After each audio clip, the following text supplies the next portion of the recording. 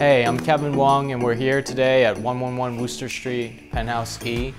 This is one of the most fantastic homes that are on the market currently with an amazing, amazing, spectacular roof deck. I love any neighborhood that reinvents itself, that's always changing.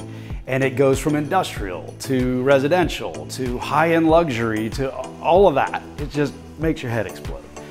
So I come up the elevator and there's Kevin.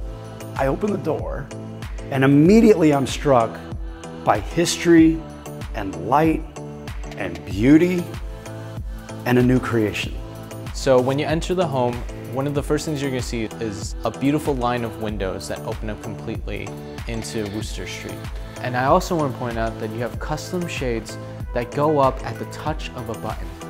This is an apartment that is filled with sunlight. The owner completely renovated the home. The kitchen is completely open, immaculate, and massive. Top of the line stainless steel, Boffi kitchen, you name it, it's here. And I have to add one of the greatest pantries in New York City with a laundry, with a washer and dryer. Kevin knew this home when it didn't look like this. His friend and his buyer at the time, the current owner, gutted this place back to the slab. New electric, new plumbing, new walls, new invention, new windows, new AV system, new layout, new everything. But the main thing, the cherry on top here, that makes everybody's jaw drop is that roof deck.